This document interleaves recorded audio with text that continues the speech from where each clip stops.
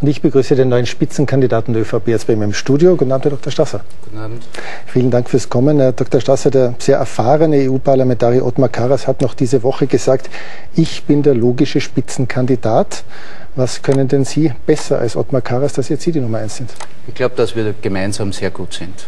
Er hat seine super Erfahrung in der Fraktion. Er hat ungeheure Arbeit geleistet und ist bereit, die zu leisten. Ja, und ich bringe meine Erfahrung sowohl aus der Politik, aus dem Rat, als auch aus der Wirtschaft ein. Das werden wir gemeinsam machen. Werden Sie nach der Wahl auch Delegationsleiter in Brüssel und Straßburg werden oder sind Sie nur die Wahlkampflokomotive? Bei uns gibt es mehrere Wahlkampflokomotiven. Sie haben die Kandidatenliste sicher schon gesehen. Es sind zwei Frauen auf der Liste auf wählbarem Platz.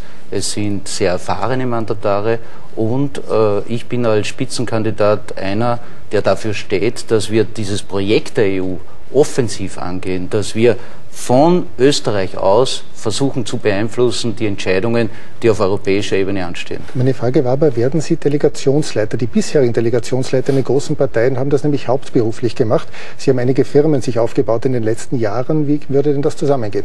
Äh, bei uns ist es so, dass da gewählt wird. Aber ich werde mich um die Delegationsspitze selbstverständlich bewerben. Und wir werden das in einer guten Abstimmung mit der Delegation und insbesondere mit dem in der Europäischen Volkspartei sehr wichtigen Ottmar Karas machen. Ihre Firmen führen Sie weiter dann? Das werden wir umstellen müssen, aber grundsätzlich äh, werde ich selbstverständlich meinen Brotberuf weiterführen. Nach Ihrem Abschied haben Sie gesagt, wir haben es gerade wieder gesehen, Sie können eine Rückkehr in die Politik ausschließen. Und auch vor zwei Jahren, da waren Sie mal kurz als ÖVP-Generalsekretär im Gespräch, haben Sie ausdrücklich gesagt, meine politische Karriere liegt in der Vergangenheit. Ist Politik so eine Sucht oder hat Ihnen doch das Scheinwerferlicht so gefehlt? das, glaube ich, ist das Wenigste. Aber das, was ansteht, das ist viel wichtiger. Die Welt wird neu geordnet. Und da das gilt auch äh, für Europa. Und ich glaube, dass ich da was beitragen kann, jawohl. Und da geht es vor allem auch darum, dass das, was derzeit auf den europäischen Tischen diskutiert wird, nicht immer das ist, was die Bevölkerung braucht. Und daher geht es jetzt darum, hineinzuhören, was wollen die Menschen, wo drückt der Schuh, was tut weh? Und was müssen wir zur Agenda in Brüssel machen. Nicht Brüssel ist äh, Vorbild und hat äh, angesprochen zu werden in Österreich, sondern das, was die Österreicher fühlen, hat auf den Brüsseler Verhandlungstisch zu kommen und das hat mir bisher ein wenig gefällt. Jetzt waren Sie äh, doch auch nach Ihrem Rücktritt in den Medien, nämlich äh, letztes Jahr, äh, und zwar sind E-Mails aus dem Innenministerium aufgetaucht, aus denen klar hervorgeht, dass in Ihrer Amtszeit als Innenminister Posten an Parteifreunde, und zwar ausdrücklich an Parteifreunde vergeben worden und dass Bewerber nach ihrer politischen Einstellung kategorisiert worden sind. Wie erklären Sie diese Mails? Das glaube ich, da täuschen Sie sich. Weil? Solche Mails kenne ich nicht. Ich kann Ihnen ein paar vorlesen. Äh, da heißt in einem Mail, ist ein verlässlicher Freund und Mitstreiter unserer Gesinnungsgemeinschaft über einen Bewerber für einen Posten. In einem anderen Mail, mein Kandidat, Klammer auf, FCG, also Fraktion christlicher Gewerkschafter, soll untergebracht werden. Oder wieder anderer Fall, der Erstgereihte ist fachlich sicher Topmann, stammt aus einer rabenschwarzen Familie, aber stand schon einmal für die Roten auf der Personalvertretungsliste.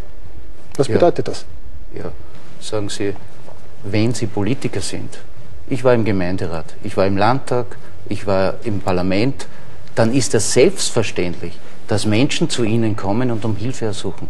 Ich äh, lade Sie ein, schauen Sie sich einmal die Post eines aktiven Abgeordneten an. Aber das warum, ist doch ganz normal. Geht, und das ist ja genau der Punkt, der so falsch gesehen wird. Da denken immer alle, es müssen die Österreicher das tun, was in Brüssel passiert. Nein, ich bin dafür, dass in Brüssel das geschieht, was die Österreicher wollen. Und das ist genauso hier. Ich werde auch meinen Wahlkampf so machen, Herr aber, Wolf. Aber ich werde was, den Wahlkampf so machen, dass ich zuerst zuhöre, was die Menschen brauchen was das Anliegen der Menschen ist. Also und da werde ich, ich nicht eine Zensur machen, wer da also mir was schreibt. Ich, ich verstehe es nicht, das waren ja Ihre engsten Mitarbeiter, die das geschrieben haben und da haben Sie immer wieder zurückgeschrieben.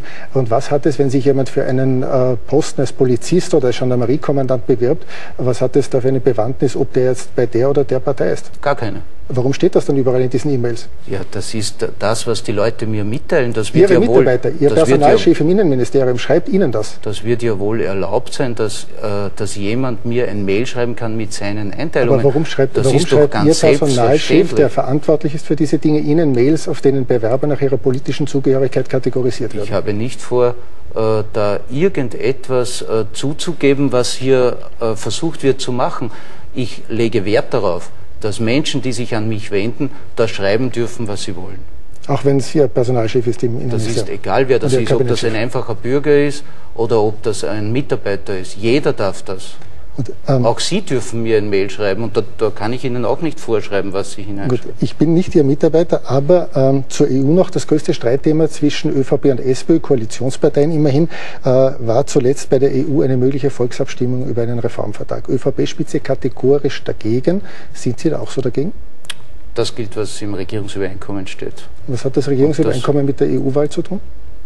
Das ist für mich Grundlage und das ist ein gutes Programm. Aber Sie das kandidieren ist, ja für das EU-Parlament. Das ist ein sehr gutes Programm, äh, genauso wie das Programm, das heute die Volkspartei verabschiedet hat.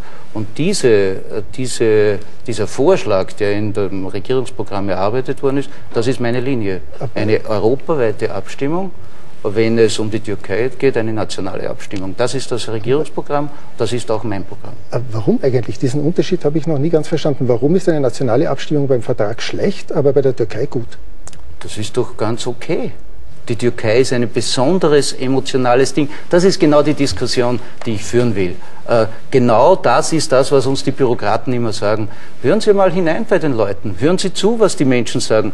Da gibt es ein Problem. Da gibt es eine Sorge mit dem Beitritt der Türkei. Ich verstehe das. Und diese Sorge müssen wir nach Brüssel bringen. Und es ist gut, dass hier äh, Österreich gesagt hat, wir wollen das erst nach einer nationalen Abstimmung dem näher treten. Ich bin da sehr zurückhaltend, was die Türkei betrifft. Und ich glaube, dass die europaweite Abstimmung insgesamt äh, eine vernünftige Vorgangsweise ist, so wie sie im Regierungsprogramm steht. Und ganz kurze Frage noch zum Schluss. Sie galt immer als sehr ehrgeizig als Politiker. Begrenzt sich Ihr politisches Comeback jetzt eigentlich aufs EU-Parlament oder möchten Sie vielleicht auch noch EU-Kommissar werden oder irgendwann wieder Minister in Wien oder vielleicht irgendwann Landeshauptmann in Niederösterreich? Bleiben Sie jetzt in der Politik? Ich bleibe in der Politik und in der Wirtschaft. Aber was heißt das? Bleiben Sie im EU-Parlament oder könnte es da noch mehr geben dann? Ich glaube, jetzt trete ich an für das Parlament. Jetzt möchte ich äh, die Sorgen der Bürger kennenlernen, was das Parlament betrifft. Und dann möchte ich diese Sorgen nach Brüssel tragen auf die Agenda des Europäischen Parlaments. Und was solche Vorhersagen über die Karriere betrifft, muss man ohnehin ein bisschen vorsichtig sein, haben wir gelernt. Heute. Das gilt bei Journalisten, das gilt auch bei Politikern. Danke für den Besuch im Studio. Dankeschön.